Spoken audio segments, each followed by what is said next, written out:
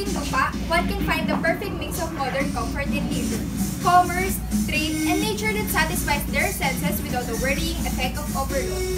The lingering pastoral appeals that city's green landscape, blending with shopping malls, first-class restaurants, high-rise corporate, condominium buildings, and five-star hotels is a welcome readers. A distinctive characteristic that Muntinlupa apart from other urban centers in Metro Manila. Muntinlupa is an old term which refers to a town now known as Poblacion. As early as 1800, the Catholic priest named Father Joaquin Zuniga chronicled the place as La Poblacion, Queso Que, Sela, Muntinlupa.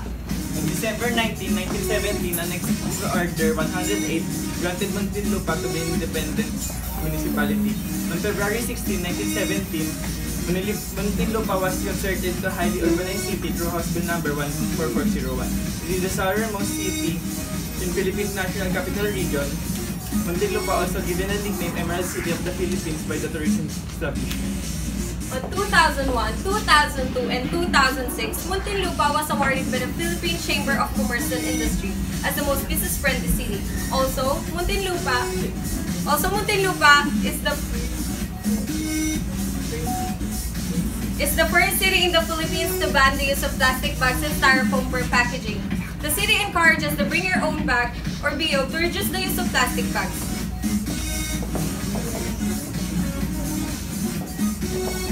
The following are the proposed laws for the betterment of the municipality of Muntinlupa.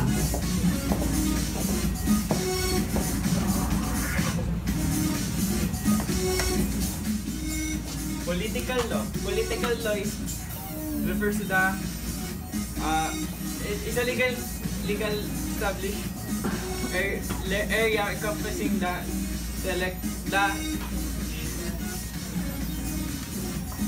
voting rights law, campaign finance law, um, laws governing lobbying and lobbyists, open government law, legislative and executive branch ethics codes, legislative procedure, administrative procedure, cons- constitutional law, legislation, and regulatory We all know that Muntinlupa has one of the classified urban city. Is the pay-to-play restriction. Pay-to-play refers to the businessman make contributions to the public officials, political officials report to themselves, and they will receive political and pecuniary benefits such as no-bid government contracts, legis- influence over legislation, politic- politics appointments or nominations, special favors. Alcohol drug law for the consumption on premises. In New York, for the purpose of state law, there are only 4 hours out of each day in a week, with the exception of Sunday, in which alcohol may not be served at 4 a.m. to 8 a.m. This was designed to accommodate New York City nightlife as well as late night burgers in statewide in general. Here in the Philippines, bars are free to operate until 6 a.m. or until there's customers. For consumption of premises, only liquor stores may obtain license to sell liquor for off-premises consumption. Grocery and drugstores may obtain license to sell beer and or beer and wine products only. A minor visiting liquor stores must be accompanied by an adult at all times.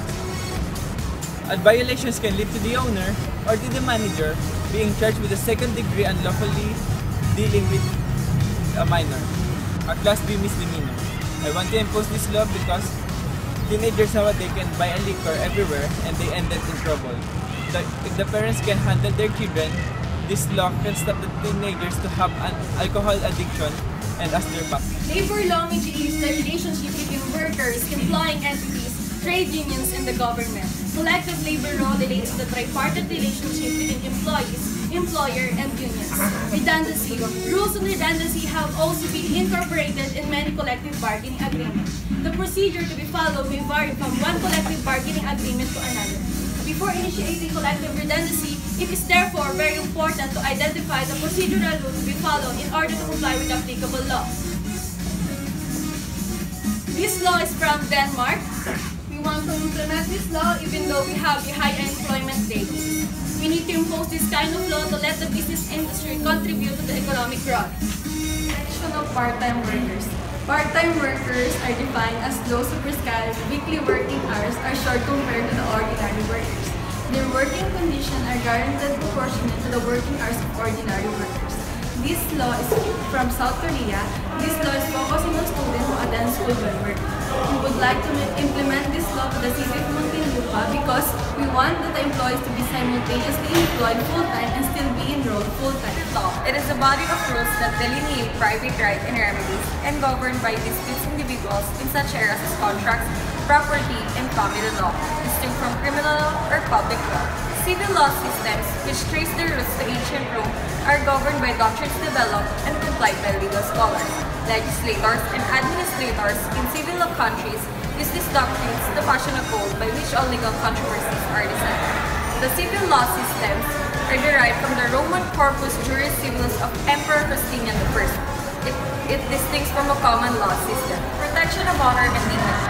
A citizen or an organization may demand in court that statements concerning its honor and dignity be denied. If the person who has circulated such a statement is unable to show that they are true, such untrue statements has been circulated in the press, they must also be denied in the press. In other cases, the court chooses the matter of denial. In order to protect one's honor and dignity as a person from false accusation, we should implement this kind of law with a fine. And a serious defamation, imprisonment is a must. The general periods of limitations of actions. The general period within which a person whose right has been violated may bring an action to defend those rights, and an action brought by state organization, cooperative, and public organization. I think we should implement this to Muntinlupa City because rivalry between companies cannot be avoided. They are competing for the customers and because of that, they're starting to make stories between parties. Tax law in the Philippines covers the national and local taxes. The national taxes imposed and collected, it is referred to internal revenue tax imposed and collected by the national government through the Bureau of Internal Revenue, and the local taxes imposed and collected by the local government. One of the laws that I would like to implement to the city of Muntinlupa is the carbon tax, which can be implemented to help reduce the use of energy. According to E AEPSEA, because of the flexibility it provides to firms and households and how to decide on how to reduce the use of energy. This in return most likely to minimize the cost of production. In return, if modeling the economy, the tariff reform alone lower the cost of the. The next is the Inspector General of Taxation. For the public to know where their taxes go, this law was also inspired from Australia where their general purpose is of reporting and making recommendations to the government on how the systems could be improved. On completion of the review, the Inspector General and the government will make this review available to the general public. Mercantile law or commercial law is the law that regulates commercial activities in the economy. Is a very wide term and all the laws generate commercial transactions. Penalties for late payment. This applies as of right as from the date of the payment was due. The parties may not agree on the late payment penalties in an amount less than three times the legal interest rate. If no penalties were agreed, penalties were calculated on the interest rate. Franchise agreement. Franchise agreement is an organized relationship between a franchisor, a manufacturer or provider of services of a product, who owns a relating trademark where a franchisee, an individual or a company willing to distribute such as product or services under the franchise name. Philippine criminal law is the body of law in defining the penalties thereof in the Philippines. Individuals commonly commit tax fraud by violating any federal criminal laws such as underreporting income, overestimating deductions or expenses, making false statements to investigators, or not filing a yearly tax return. We interviewed the second district councilor Lucio Constantino and asked him about the incidences to share to us some of the incidences of tax evasion in the city of Muntinlupa. Marami na nangyayari. Ano po usually yung mga Pag ano, nangyayari, halimbawa involved? mga nag-ooperate sila na hindi na nila kinuha ng business permit, yun, timano, pinapadlock namin yan, dinidik, dinidikitan namin yun. This, uh, this establishment is temporary closed na temporary lang, hindi naman sasabing totally closed. Once magbabayad ka naman, eh, pwede ka makapag-operate. Ma-open po Oo, ma-open ulit. oo. Pero meron po sila parang notice po muna bago po lagyan ng temporary. Yes, yes. Uh, we, we give them a notice na you have to pay your uh, taxes before you operate your business. Yes. you po. According to Investopedia, the Code of Ethics may outline the missions and values of the business or organizations, how professionals are supposed to approach problems, and the ethical principles based on the organization's core values and the standards to which the professionals is held. The following are the proposed law of ethics for the chosen city. Confidentiality Act. You shall treat information with respect and assess or disclose it only in the proper course of duty. This law originates from England and shall involve all the, the whole local community of Muntinlupa, not only the local government. We would like to implement this law not for so false accusations or rumors will not spread against neighbors or businesses circulating the whole city. Next is the Social Responsibility Act. Enterprises shall involve themselves in promoting and or participating in, in projects of a civic, social, or cultural nature concerning the well-being and or development of local population. This law originates from Europe. We would like to implement this law not only for the businesses to have the economy of Muntinlupa, but also help the city to be known for its different celebrations or fiestas. UNWTO Ethics, according to World Tourism Organization, a legal and regulatory framework for the sustainable development and management of tourism, protection and conservation of natural and cultural resources, and facilitation of the involvement of private sector and local communities in tourism development activities. It reflects roles and responsibilities of inbound, outbound tour operators and all other concerned players in the tourism field. The Religion Act.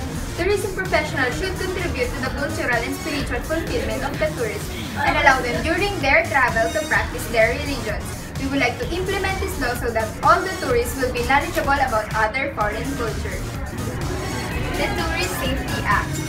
The public authorities of the generating states and host countries should ensure that the necessary mechanisms are in place for the repatriation of the tourists in the event of bankruptcy of the enterprise that organized their travel. We would like to implement this law so that all the tourists and tour guides will feel safe and secure. The stated laws that we find appropriate and applicable are only mere suggestions to the municipality of Muntinlupa. The local government still has the final say to the laws that will be imposed to the city. We also hope that after watching this video, a lot of students or people will be encouraged to study tourism in order to help our government in dealing with the problems regarding our tourism industry. So what are you waiting for? Choose tourism, choose UE Manila.